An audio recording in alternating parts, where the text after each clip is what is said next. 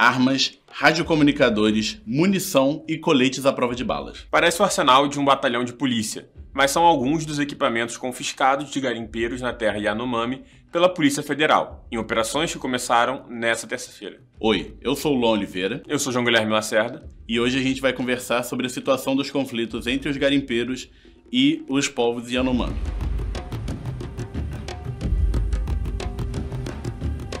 Você deve se lembrar das operações policiais que aconteceram no começo do ano passado para expulsar garimpeiros de terras indígenas. O que você talvez não saiba é que muitos invasores acabaram ficando nos territórios protegidos, enquanto outros voltaram para o local depois que a poeira baixou. Com isso, o garimpo continuou, e a quantidade de Yanomamis assassinados no ano inteiro foi 308, apenas 10% a menos que no ano anterior. Das 376 comunidades Yanomami, 60 ainda convivem com garimpeiros, segundo o presidente do Conselho Distrital de Saúde Indígena Yanomami, Júnior Recurari Yanomami. Recurari afirma ainda que os invasores têm muitos recursos, vêm de helicópteros e têm armas pesadas, e que a situação é tão grave que mães têm medo de nomear recém-nascidos porque há risco de não sobreviverem por causa da desnutrição. Em redes sociais, ativistas criticaram a falta de atuação do Ministério dos Povos Indígenas, criado pelo presidente Lula e atribuído a Sônia Guajajara. O escritor Daniel Munduruku disse que a criação do ministério que classificou como cirandeiro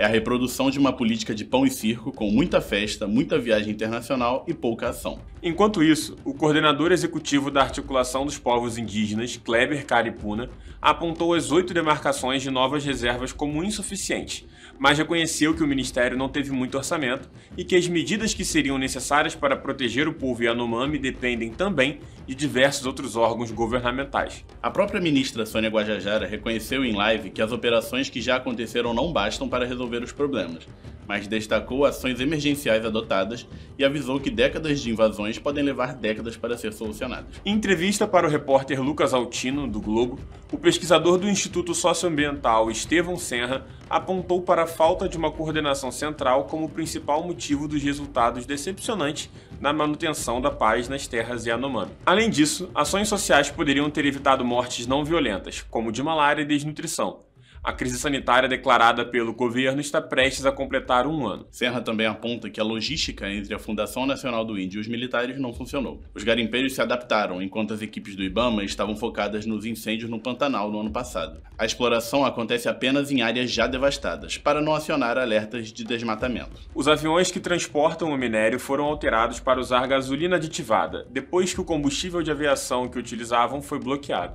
As aeronaves ficam escondidas na Venezuela, de onde saem para descarregar e comprar suprimentos.